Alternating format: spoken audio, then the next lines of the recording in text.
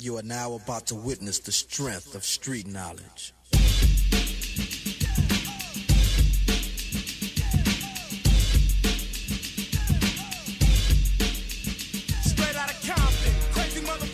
아, 일단 오늘 가기 전에 물어볼 게 있는데 오늘 호르몬 상태 어떤 거예요? 좀 예민한 거야 아니면 좀 저는 요새 여, 여성이 많이 높습니다. 아, 그 여성이 높으면 좀 감정적인 감, 사람이라. F로 좀 다뤄줘야 되고 여기는 좀 나 남성 고릴라야 지금. 어, 여기는 그냥 3% 대하면 안 되겠네. 어, 지금 나 싸울 수도 지금 있으니까. 진짜 눈 보이지 지금? 어, 저 조금이라도 직설적으로 말하면 바로 옵니다. 이거. 어. 무슨 말씀- 여기는 바로 이제 무슨 느낌인지 아시죠? 안아골절 나올 나, 것 같은데. 나는 진짜 안 하고 어, 올줄이고 예, 바로 조심해야 될 것 같아. 준영이 F고 나 T야? 어, 그러니까 지금 아, 남성이 높을 줄 알았는데 여성이 왜 높아지는 부작용을 사실 사실 내가 이제 이, 이 유튜브를 5년 하면서 이제 이런 호르몬 상태들을 이제 항상 확인하기 때문에 이렇게 버틸 수 있었던 것 같아.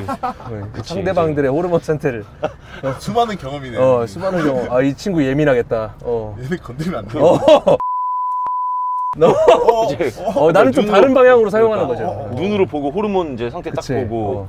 여성이 높네 남성이 높네. 우린 좀 친하니까 구두로 이제 물어보는 거지 이제. 그럼 어, 잘- 오늘 호르몬 상태 어떠냐? 아, 씨, 오늘 나 이제 오랜만에 우리 이제 뭉치잖아 사실. 사건 사고도 엄청 많이 있었고 사실은. 분기 한 다섯 건 이상 터져줘야지. 오늘 근데 가는 장소가 한강인데 나는 근데 오늘 진짜 우리 세 명이 이렇게 바깥에서 로케이션에서 하는 건 처음이잖아. 서로 간에 더 진지한 얘기. 준호 씨도 준호 씨 나름대로의 진지한 얘기가 있을 거고 우리 좀 세 명의 스토리를 한번 오늘 들어보는 서로 간에. 오늘 좀 모인 거의 큰 이유 중 하나가 준영이야 솔직히 말해서. 아 그쵸. 오늘 면담 시간이라고 좀 볼 수 있을 것 같아. 저 솔직히 말해서 오늘 설레는 마음 왔어요. 한강으로 행선지 잡은 거지. 그렇지. 좀 야, 위험한 것 같은데 약간. 아까 좀 5초 동안 멍 때리면 바로 잡아주셔야 됩니다. 그 다리 근처로는 가지 마세요 혹시. 난 좀 이방인이라고 생각하고 있기 때문에. 이 바닥에 이방인. 어, 근데 준영이는 어쨌든 간에 선수잖아, 플레이어잖아. 되게 주목받는 선수가 되고 활동을 난 잘 하기를 바랬어. 최근 뭐 터진 일련의 사건들을 통해서 사람의 이미지라는 게 중요한데 그런 이미지에 타격이 가면은 이 일을 하는데도 지장이 갈 수도 있단 말이야, 솔직히. 맞습니다. 맞습니다. 근데 그런 이미지가 지금 깎이고 있다? 나는 이거는 솔직히 너무 걱정됐어. 내 마음 속에서. 좀 강하게 안 들어온다 이렇게 말씀할 뿐이지 그래도 찾아주는 분은 많아요. 그 사람들도 이런 소식을 들었을 텐데 운동 개성이 너무 확고하다 보니까는 그런 것 때문에 찾아오시더라고요. 신경도 안 쓰고 그 부분에 대해서 너무 감, 감사하더라고요. 너무 이렇게 될 운명이었다 생각하면은 마음 편해요. 그런 거에 대해서 지나간 일에 대해서 자책하거나 잘잘못 따지거나 이러면은 더 저만 또 스트레스 받으니까 아니, 얼마 전에 그, 토이씨 그 올렸잖아. 그, 내추럴 그, 아 치, 그거 유통 유통업자한테 연락 온 거. 그거 진짜야? 그거 나는 거짓말 안 해요. 그 익명으로 연락 오신 분이 자기 업자래요. 업자인데 이 바닥에서는 숨길 수가 없다. 어. 작년에 나는 왔어. 자기가 성장 호르몬하고 이런 거 쓰는 애들은 안 돼. 어. 아 내추럴이라고 하면서 어. 성장이 유통 총책이 있는데 그 사람이 다 알고 있다는 거야. 그래가지고 얘 얘 얘 아니다. 나한테 정확히 특정한 인물을 지목을 했어. 어 나 이것도 이따 얘기합시다. 내려가서 안주거리 나왔다. 근데 오늘 한 끼 못 드셨어요? 나 오늘 한 끼도 안 먹었냐고? 네. 아, 많이 먹었어. 저는 한, 끼, 저는 한 끼도 안 먹었습니다. 오늘? 네, 식욕이 없어가지고요. 왜 왜 왜 안 먹었어? 식욕이 없어요, 형님. 시- 식욕이 없다고? 식욕. 아 식욕.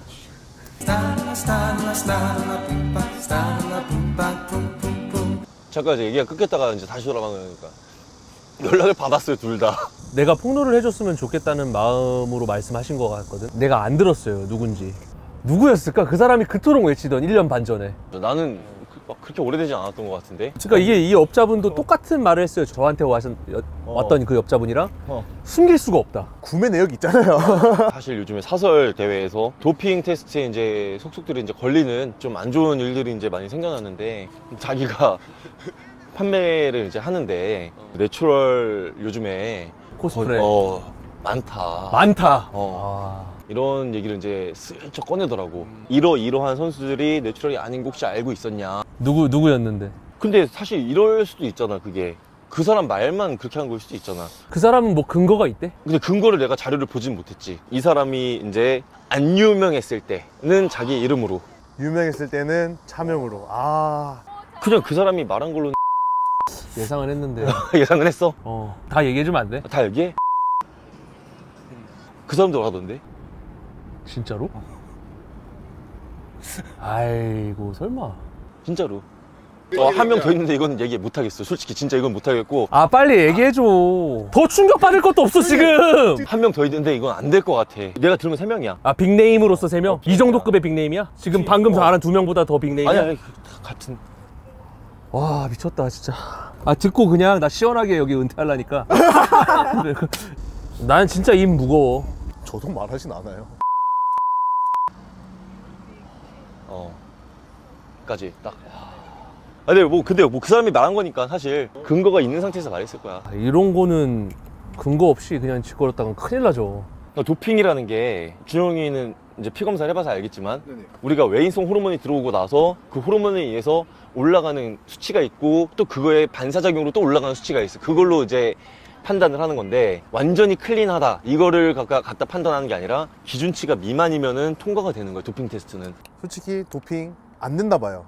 못 잡아 왜냐면 뒷돈이라는 또 이게 끼어 있다 보니까 어, 완벽한 내추럴 대회는 없어 불가능해 정말 작정하면은 속이고 나갈 수 있어요. 이름을 대면 아는 약물들 있잖아요. 이런 것들은 반감기가 길어요. 도핑 테스트에서 가장 대표적으로 적발되는 거기 때문에 쉽게 검출이 돼. 근데 예를 들어서 우리가 생전 처음 들어보는 펩타이드 호르몬 어떻게 할 건데 어떻게 잡을 건데. 문득 드는 생각인데 업자들이 입이 간지러울 만하네 아니 근데 난 뭐 이렇게 알았다고 해서 난 사람들을 미워하지 않아. 아니 근데 뭐 그게 거짓말일 수도 있는 거니까 업자가. 내추럴 대회가 어떻게 운영이 돼야 되느냐. 양심밖에 없어. 내가 도핑 테스트를 완벽하게 한다. 불가능입니다. 내가 경기력을 1%라도 올릴 수 있다면 그건 도핑이야. 네. 그거는 같은 출발선상이 아니라고 봐 나는. 맞습니다. 양심을 갖고 판단을 해야 되는 게 전부인 것 같아 나는. 저는 그래도 유지돼야 된다고 봅니다. 저도 유지돼야 된다 봐요. 왜- 왜냐면은 순수한 헬린이들은 대회를 한번 나가려고 하면은 바로 내추럴 대회 찾아요 그냥. 아니 근데 이제 내추럴 대회들도 만만치가 않긴 해 근데 그럼에도 불구하고 있어야 돼 왜냐면은 보디빌딩이 더 멀어진다니까 일반 사람들하고 맞아. 그러니까 그 내추럴 대회가 있으니까 이렇게 가까워지는 거지 나는 솔직히 의심이 가는 사람들이 몇 명 있어 솔직히 말해서 나도 느낌이란 게 있어요. 쟤는 그냥 보면은 아 느낌이 와요. 내가 여기서 여기서 삐처리하고 내가 누구 누구 누구 이름 말하면은 어떤 느낌인지 말해줄 수 있어? 어, 해봐 해봐 해보자, 해보자. 같다 아니다로 대답하자 그렇죠. 저는 의심이 가요. 어... 공감이요? 어... 야, 좀 오케이. 야 좋긴 좋다 진짜. 근데 이거는 나는 무조건이라고 생각하는 무조건 와. 사진에 보정이 빡세게 들어갈 수도 있는데 나는 아니야 실제로 이거보다 더 좋아. 그럼 난 무조건이라고 생각해. 아 그러면 내가 반대로 이렇게 물어볼게. 준영이는 IFBB 프로고 너가 약을 처음부터 안 썼어 이 정도면 마- 뭐 만들 수 있을 것 같아? 아니요 절대 안 돼요. 와이 발언은 좀 셌다 몸에 수분 창그 같은 느낌들이 있잖아 네네네. 그 느낌들을 제거해서 무대에 오르잖아 그것까지도 불리하다 이거 저는 그렇다고 봐요. 왜냐면은 이뇨제가 있는데 오픈 올림피아 오픈 분들이 엉덩이 다 갈라지고 내추럴 경량급마저도 그 skin을 못 뽑아내요. 내추럴 분들은 냉정하게 제가 봤을 때 진짜 유리한 거 없어요.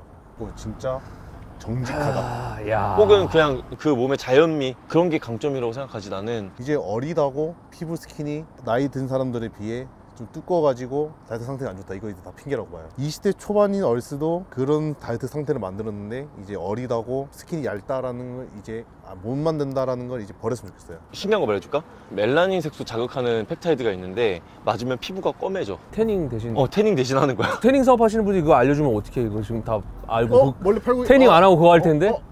그런 정말 우리가 정말 듣도 보도 못한 그런 것들도 있어 사실은. 정말 저는 딱 두 가지가 있어요. 돌아가고 싶은 순간 두 가지. 하나는 약을 사용하기 전 다른 하나는 운동하기 전. 약 같은 경우는 위험하고 어떻게 보면 계속 스트레스를 가져가야 돼요. 비용도 비용이고.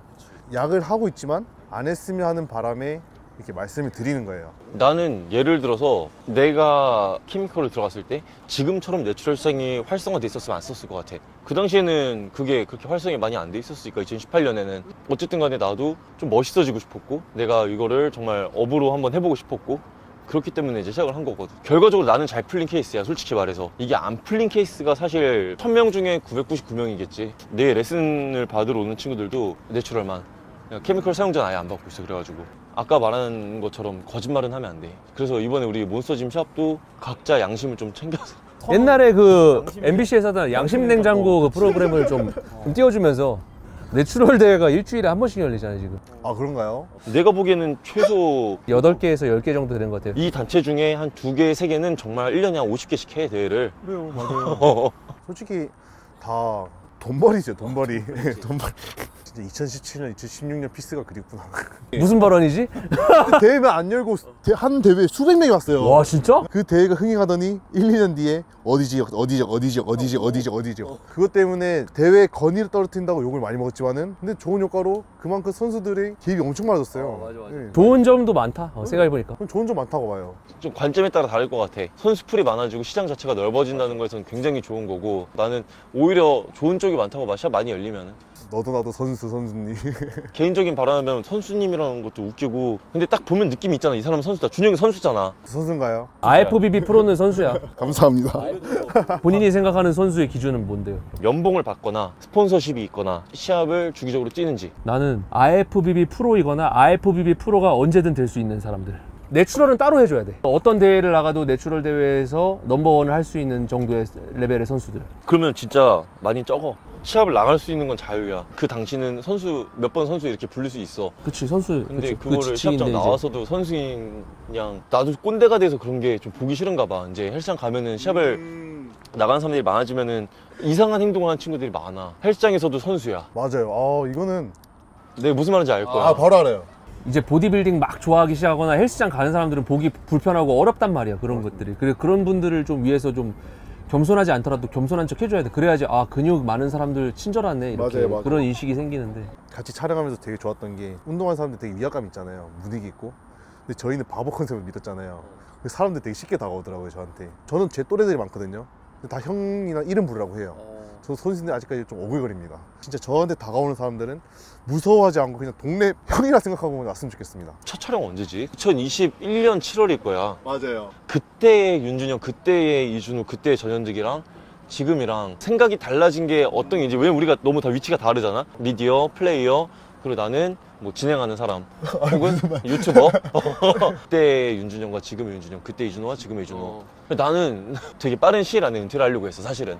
근데 오늘 얘기 들은 거 보니까 절대 은퇴 안 될 것 같은데. 이 바닥 그 자체가 내가 은퇴를 생각을 많이 했던 게 결국에 전현득은 뭐 하는 사람인가 이거에 대한 명확한 정의가 내가 너무 일을 벌려놓은 게 많다 보니까 열심히 하고 있어 모든 일들을 최대한 열심히 하고 있고 뭐 결국 약간 근본적으로 마지막 1년 정도는 선수로서 플레이어로서 올인해보고 은퇴해보고 싶다 약간 이런 생각이 있었어 사실은 근데 어, 하지 말래 대표님이 그때 나는 더 유명해지고 싶었어 사실 음. 아 맞아 기억납니다. 그냥 피크치에서 사실 그만두고 싶었는데 아직은 피크치가 아닌 것 같아. 제 선수 은퇴가 빠를까요? 형님 이바닥 은퇴가 빠를까요? 야 박, 박빙이다 야.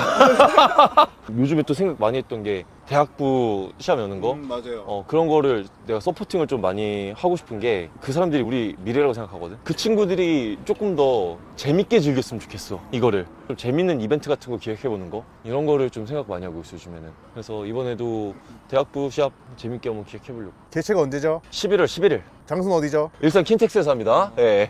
그때의 윤준영과 지금의 윤준영 어떤 차이가 있냐? 선수로 목표는 똑같습니다. 올림피아? 올림피아. 크게 달라진 게 없는 것 같은데요. 오로지 올림피아. 올림피아 오 근데 좋다 그것도 프로카드 따고 싶은 그 욕심 때문에.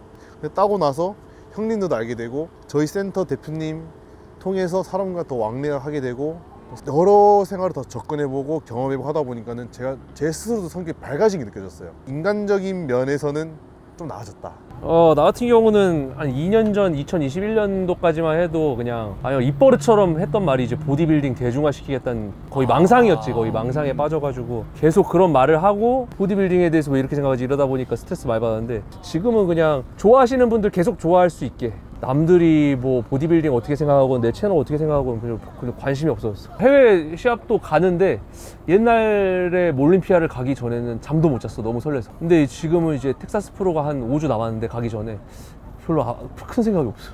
아 재밌다. 오랜만에 이런 얘기하니까. 우리가 과연 몇 년 뒤에도 이걸 할지 모르지만 2021년에 시작해서 2023에 왔으니까 2025에 한 번 더쯤 되겠네. 2025에는 또 바뀌어 있겠다 어. 얘는 뭐 올림피아 갔다 왔을 수도 있고 우리가 앞으로 어떤 프로젝트를 할지 몰라도 뭐 서로의 생각도 알면 더 좋고 너무 좋은 시간이었던 것 같아 고생했어 오늘. 고생 많았습니다. 고생하셨습니다